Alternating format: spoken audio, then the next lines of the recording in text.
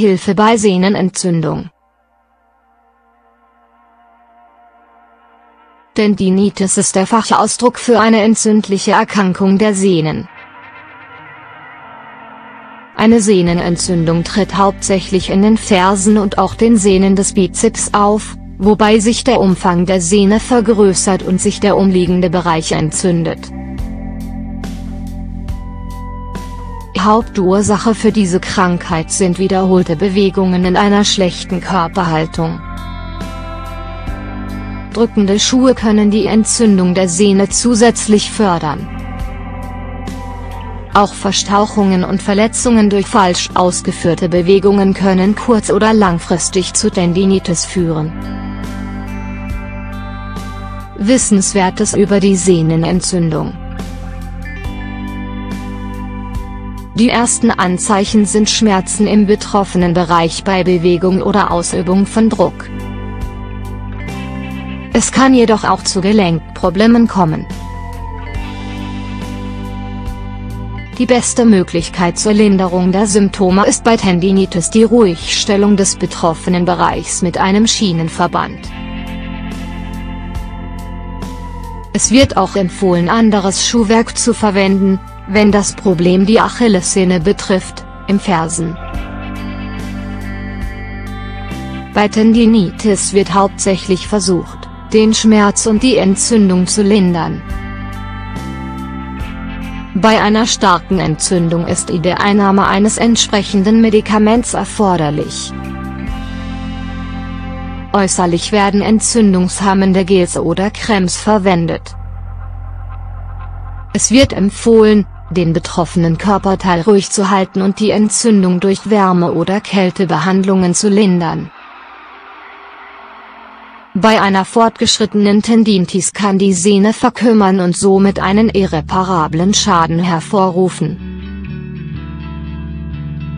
Zur Linderung der Symptome gibt es auch verschiedene natürliche Mittel. Empfehlungen zur Schmerzlinderung Bei einer Sehnenentzündung wird geraten, auf sportliche Aktivitäten zu verzichten, welche den betroffenen Körperteil belasten könnten. Stattdessen können Entspannungsübungen, wie Z. Yoga, durchgeführt werden, die helfen, Schmerzen zu lindern und während der Genesung für sanfte Bewegung sorgen.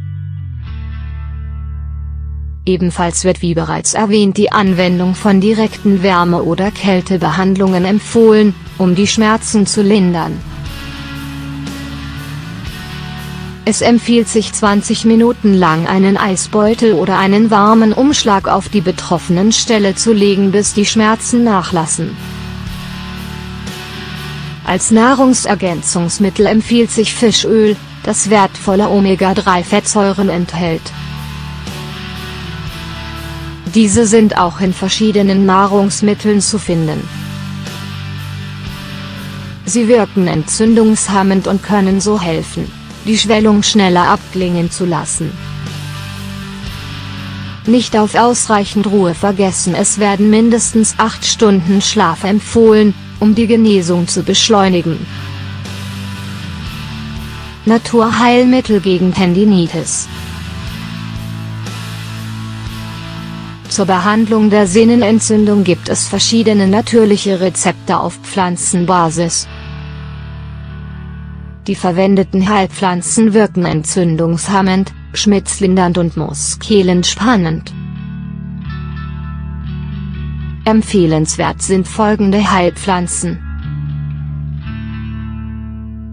Weide, diese wirkt ähnlich wie eine Aspirintablette.